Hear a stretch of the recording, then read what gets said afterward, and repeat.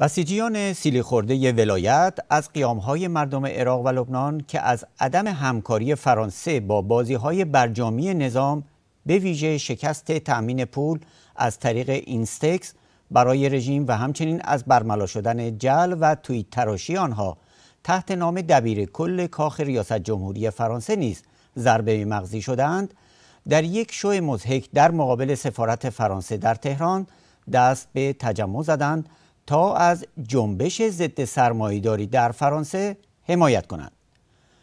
ارگان ولی فقیه ارتجا کیهان 19 آبان 98 در این باره می نویسد جمعی از دانشجویان در حمایت از جنبش ضد سرمایهداری جلیق زردها و در اعتراض به خشونت و برخورد دولت فرانسه با مردم مقابل سفارت این کشور در تهران تجمع کردند.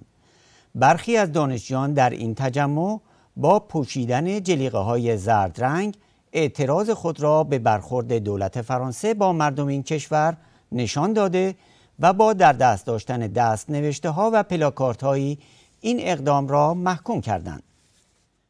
حالا اینجا در تهران روبروی سفارت فرانسه دانشجویان دانشگاه های مختلف تهران با این شعار مکرون جنایتکار است مزدور استعمار است مکرون جنایتکار است مزدور به دنبال اثبات این هستند حقوق بشر برای غرب فقط یک شعار است. اما مضحک‌ترین بخش ماجرا تشریح تراکت های امت نالان به روایت خبرگزاری سپاه تروریستی پاسداران در کیهان است که می نویسد دانشجویان تراکت هایی با محتوا و مضامین دموکراسی دولت فرانسه مساوی است. سرکوب ظالمانه ماکرون مجرم حقوق بشر حقوق بشر یا حقوق سرمایداران دولت فرانسه ناقض حقوق بشر و ماکرون جنایت می کند ترامپ حمایت می کند در دست داشتن که برگردان داغ دل خامنه است.